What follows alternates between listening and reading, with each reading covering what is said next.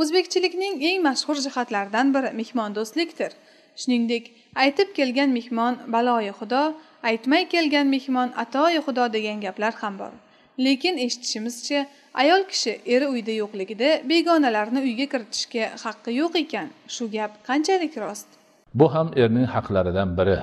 Chunki eri yo'g'ida uni uyiga kirgan odam tufayli oilaga katta zararlar yetishi mumkin. O'sha odam yomon odam bo'lsa yolg'iz ayolga yomon ko'z bilan qarashi yoki yomon harakat qilishi mumkin.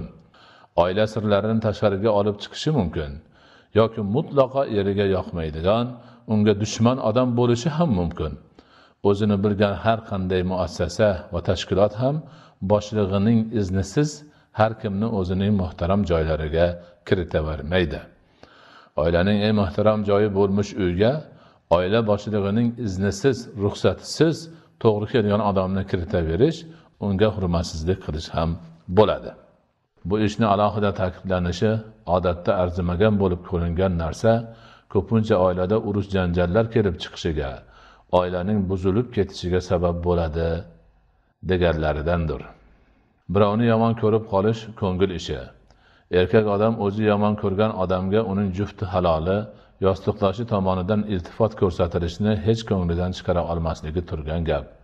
Shuning uchun ham islom shariati ayollarga bu masalani alohida ta'kidlab uqtiradi. Bu narsaning erning eng muhim haqlaridan biri deb tushuntiradi.